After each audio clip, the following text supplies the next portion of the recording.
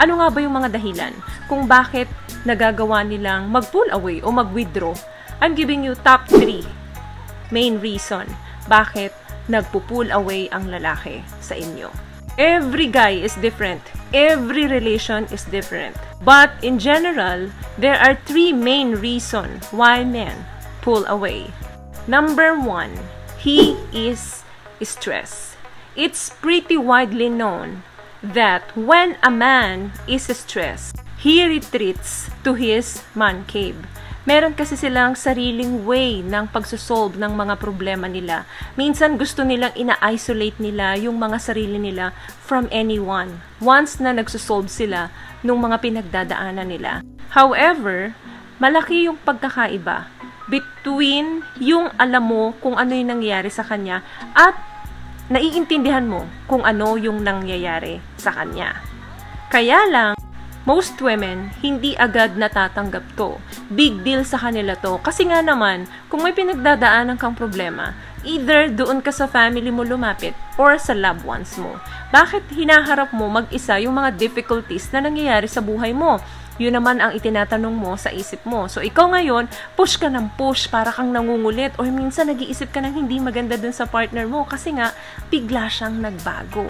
When a man is having a hard time, he needs to pull back and work through his issue on his own. And ang pinakamalaking mistake, karamihan ng mga babae dito, ay hindi nila naiintindihan kaya hindi nila mabigyan ng space yung lalaki sa pagsusolve ng sarili niyang problema.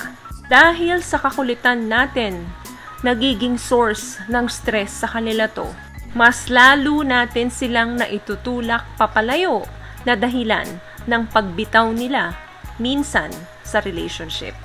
Kasi nga naman, mas nakakadagdag pa ito ng tensyon sa kanya.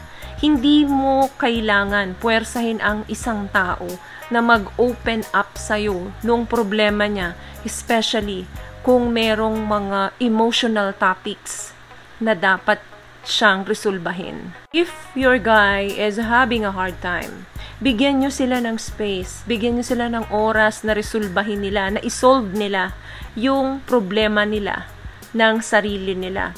Kasi kung kailangan nila kayo, sasabihin nila yon. Kung kailangan nila kayo, hahanapin nila kayo. At once na nag-open up sila sa inyo, makinig lang kayo. Minsan hindi kailangan magbigay ng mga suggestion or advice once na nagko-confide ang isang tao. Minsan ang kailangan nila is yung may taong makikinig lang sa kanila. Hindi aatakihin sila or mas ipaparamdam na mas marunong sila. Kasi kung kailangan naman nila ng advice, magtatanong yan sa inyo eh. And that's the time na magbigay kayo ng advice and opinion ninyo. But I want you to remember that if a man pulls away dahil sa stress, wala kang kinalaman dito. Hindi mo to kasalanan. Wala itong kaugnayan kung ano man yung nararamdaman niya sa'yo. Nangyari lang yon due to stress. Naiintindihan ko na sa isang couple, dapat pag may problema, ay nag-open up talaga dun sa partner niya.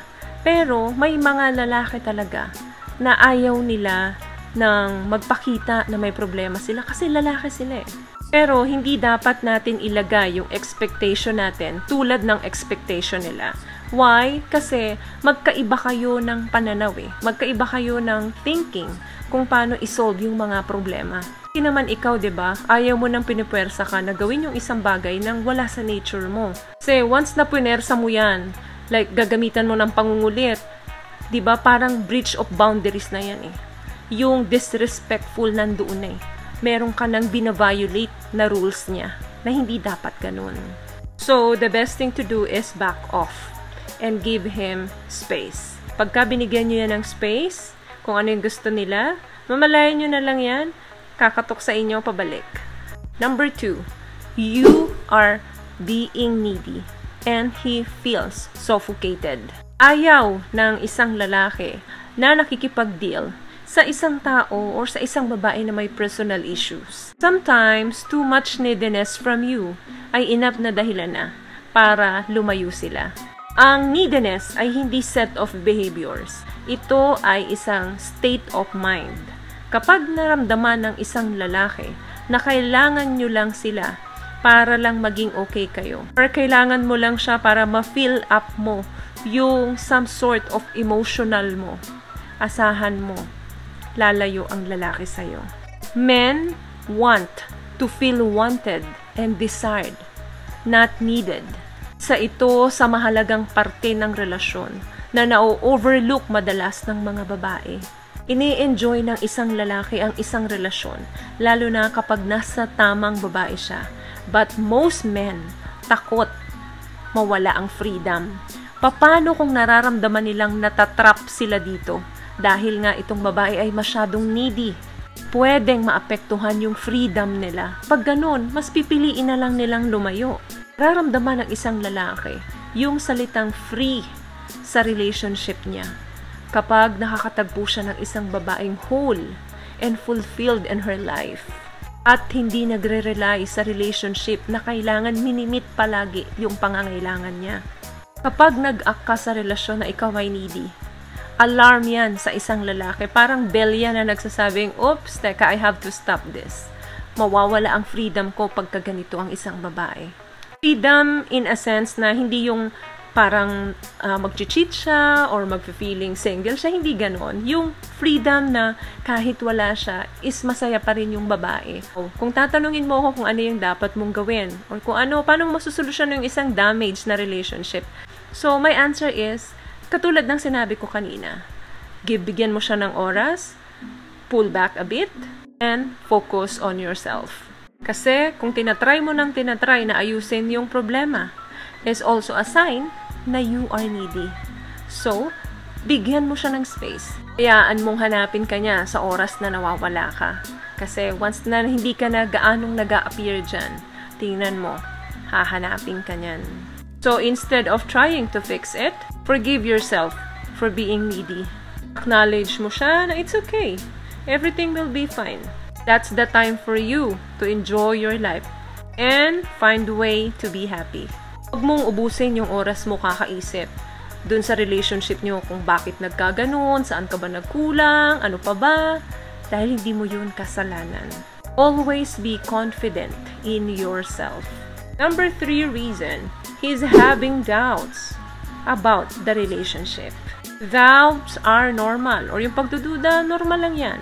Lalo na kung yung relasyon ninyo ay hindi naman pa ganong katibay. Especially kung ang lalaking ito ay hindi naman pa ganun kasigurado sa gusto niya o hindi pa siya ready to commit a so serious relationship. That's okay. Kahit nagmamahalan kayong dalawa ng sobra-sobra, pero kung hindi talaga kayo in the long run, hindi talaga kayo. Maybe something happened kaya yung mga doubts ay bigla na lang nag-exist. Pwedeng nanggagaling yan sa jealousy, pwedeng nanggaling yan sa lack of time, lack of trust, and some fights. Or maybe it happened out of the blue. Huwag niyong aksayahin yung oras yung kaka-analyze kung bakit nangyari ito or kaka-pinpoint na kaya nangyari ito ay dahil sa'yo, sa'yo, sa'yo, sa'yo. Or ako, ako, ako. Kasi mas mababaliw lang kayo kakaisip. So don't do that. Instead, give him space and continue mo yung buhay mo. For you na mag-work ang isang relasyon, dapat pareho kayong committed. Ang relationship is a partnership. So kung isa lang yung nagtatrabaho dyan, wala talagang mangyayari kasi mapapagod at mapapagod ka. Kung naipaparamdam niya sa'yo, nagdadagda-doubt siya sa'yo, hayaan niyo siya or meron siyang mga issue na ibinabato sa inyo, hayaan niyo siya. Kasi hindi ito ang para sa inyo. Hindi ito ang lalaking para sa inyo kapag ka ganon. Wala ka nang magagawa doon. Ang tamang lalaki para sa'yo ay yung lalaking tatanggapin ka for who you are. Magugustuhan niya ikaw kahit sino ka pa. Always remember that. At the end of the day, hindi na mahalaga kung bakit ang lalaking ito ay nagwi-withdraw or nagpo-pull away sa inyo. The important thing is, mabuhay ka ng sarili mo. Hanapin mo yung kasiyahan mo. Give him space and focus on loving yourself. Pag ginawa niyo ito, mamalayan mo, andyan na naman yan sa'yo. Babalik yan sa'yo ng napaka-sweet na, napakalambing at punong-puno na ng pagkamis sa'yo. Pari kasing nagda-doubt lang siya sa relationship niyo nung unang stage. So pagka ganon, hayaan niyo then marirealize na naman yan eh. Kung ikaw ba talaga yung hahanapin niya, then babalik siya sa'yo. Huwag niyong ibababa yung sarili niyo kakahabol sa kanya. Ano ba yung nangyari sa atin? Ano ba yung ginawa kong mali? Bakit nagkaganito? Huwag niyong gagawin yon kasi pinabababa niyo yung value niyo. Normal lang na pag-usapan niyo para ma-work out yung relationship niyo. Pero hindi hindi pwedeng dumating sa puntong parang sinisisi mo yung sarili mo. Tinatanong mo na, kini-question mo na yung sarili mo. Bakit nagkaganito? Saan ako nagkulang? May nagawa ba akong mali? Kasi lalaki yung ulo ng mga yan. I hope nakatulong sa inyo ang videong ito na magkaroon ng better understanding bakit lumalayo ang isang lalaki or bakit pinipili na lang ng lalaki na tapusin ang relasyon. But there is more you need to be aware. Ano yung mga dapat ninyong gawin kapag napapansin nyo na na nagiging cold na sa inyo yung lalaki or nawawala na ng interest or hindi na sila responsive sa inyo. Yan ang pag-uusapan natin sa part 2 ng videong ito. Once again guys, palagi po kayong mag-iingat at palagi po kayong manalangin. Thank you guys for watching and see you on my next one. Bye!